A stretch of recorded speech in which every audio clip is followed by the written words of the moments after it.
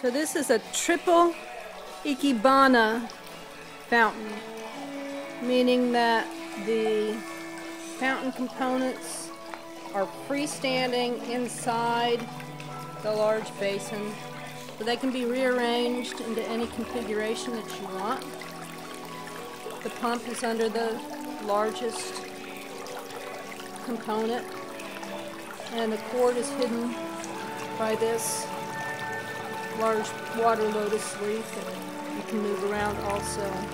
These uh, leaves were harvested at a customer's place outside of Victoria, Texas.